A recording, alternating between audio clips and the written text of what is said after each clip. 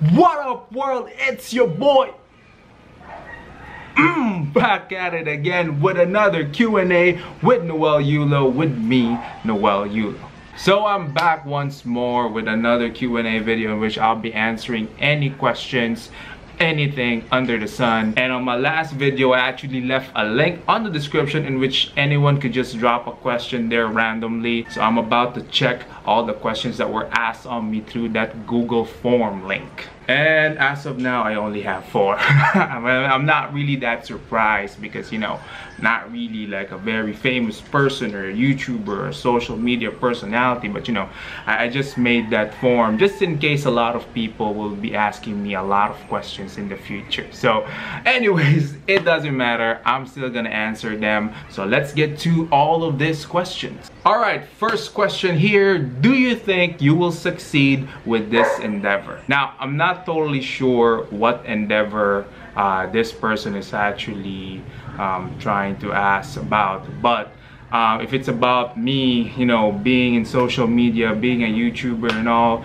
if i think i'm gonna be successful yeah i think i'll be successful as long as i keep on pushing my dream as long as i keep on doing this. The only way this is not gonna work is if i stop. And i, I understand there are times in which i get busy i don't end up really putting up any videos and all but as long as I keep on doing it I think I'll be fine. I think I'll be successful uh, at some point one way or another. But at the same time you know I'm already in a point in my life where I I'm happy that I was able to start this that I was able to do this. And if I actually don't end up being successful with this endeavor then yeah I'm really good with it. As long as I still try to do what I really want to do and that is to entertain people.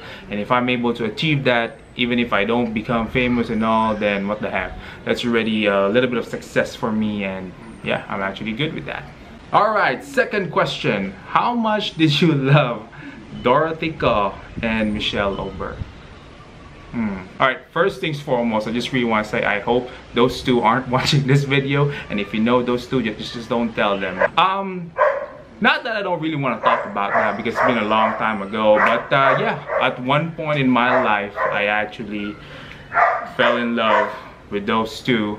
Um, just to give you guys a background, um, Michelle was my classmate second year and third year college, whereas Dorothy or Dot was my classmate uh, fourth year college. So if you're gonna ask me if I love them, yeah, I, I did love them. How much I love them though, um, really, really, really love them up there.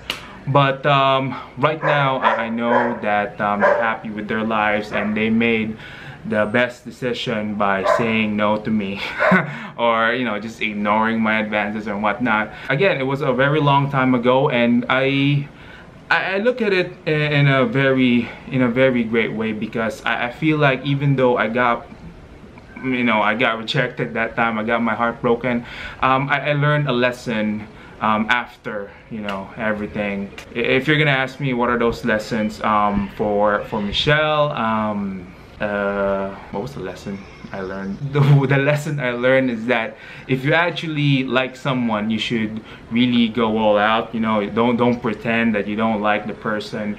Um, for for Dot, what, what lesson did I learn with Dot? So based from the lesson I learned from Michelle, um, that's where I, I, was like showing my true um, uh, affection and all that. But at the same time, I, I was I was a little bit shy when it come when it came to Dot. Like um, a lot of people knew that I had a crush on her. I think she also knew that I had a crush on her. But my approach was always like secretive, like you know, I'm just in the shadows. And that was a lesson that I learned there is that if you like someone, on top of you having to show your clear intentions, you should also be a little bit confident because I, I think one of the things that girl likes is confidence from a guy. Not too much confidence though, because that's already arrogance, but confidence enough that you are not actually shy and you actually are able to manage the situation. That's it. Those two for me are, are still special. Um, you know, I, I, I try to interact with them in a way, but at best, you know, I just leave a like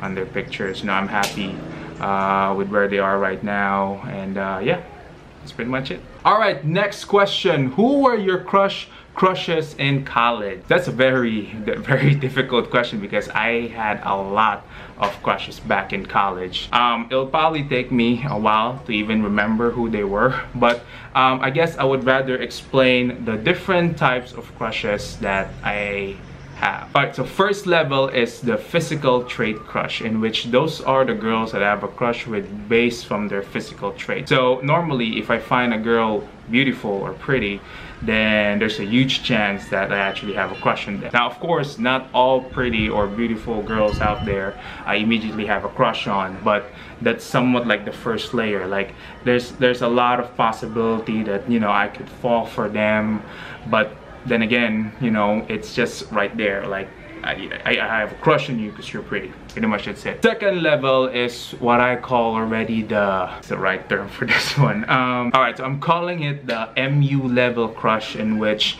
um, I'm already past beyond the I find you beautiful. So now it's more of I also know that you're a good, kind-hearted person. I know your personality. That's what I consider you as my MU uh, crush, meaning that um, I kinda really like you already but not yet to the point where I love you. Which leads me to the third level which is the I really have fallen for you crush. So obviously these are the girls that I have fallen in love with. I find them pretty, I like their personality, and now I, have just fallen in love with them. Obviously, there are a lot of girls on the first level of crush, the physical trait. There were some that was able to go to the MU level type of crush in which I felt that you know I could have been in a relationship with them if it went further. And of course those are there are the only as what I call it the five chapters of my life that actually ended up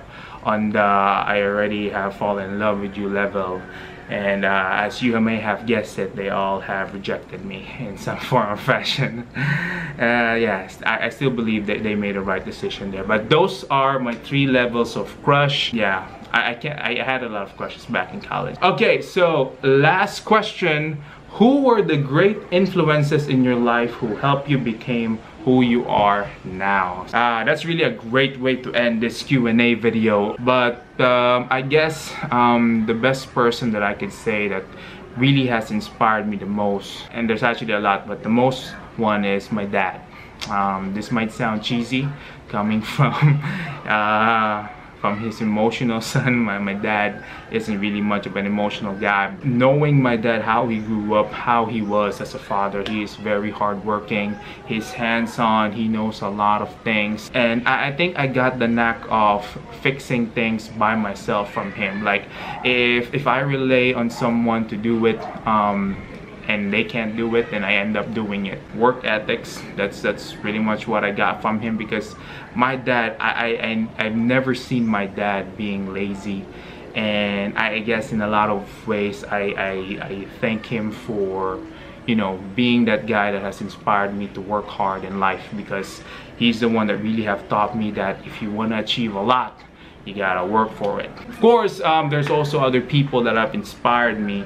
My business side my business savvy side i don't know if people ever saw me as a business savvy side but I got that from Triple H. Right now he's no longer an active wrestler, he's more of a COO, he's a corporate dude now in the WWE and pretty much the way he speaks, the, the way he the way he uh, associates himself to other people, that's pretty much how I am now as a manager. So you can only imagine at work whenever I walk, I walk like this, you know, I look like I'm about to fight someone, but pretty much that's it, that's my way of thinking because um, I, I, was an agent before, I was a trainer before, so the way I connect with people is trying to share to them the experience that I have, which is what Triple H normally does these days. Uh, that's how he helps out young wrestlers by sharing his experience with them. The last person that I could really say that has inspired me the most. The guy that I really patterned myself as an entertainer, pretty much the guy that somewhat influenced me to start doing videos like this is The Rock, Dwayne Johnson. He's pretty much my role model, I could say. And um, the thing about The Rock is that pretty much everything that I want to be it's already him you know he has a great body great physique um, he's pretty much athletic um, he's able to act he's able to entertain a lot of people and that's where I want to be. And the way I talk sometimes the way I try to entertain or try to joke I, I pretty much got it from him. My pretty much biggest role model is The Rock but at the same time my biggest influence in life is my dad that's pretty much it. And that's it for this q&a video. The link to the google form is still in the description. So if you want to ask me questions go ahead. Feel free to do so and i will answer them. If you want to ask me straight up on the comment section feel free to do so or even you can drop me a message and uh, yeah anywhere as long as I can read them I will answer them. So if you enjoyed this video I would appreciate if you would leave a like share like my Facebook page or subscribe to my YouTube channel. Again thank you so much for everyone who's watching my videos. Thank you so much for the views and the support. Again my name is Noel. Peace out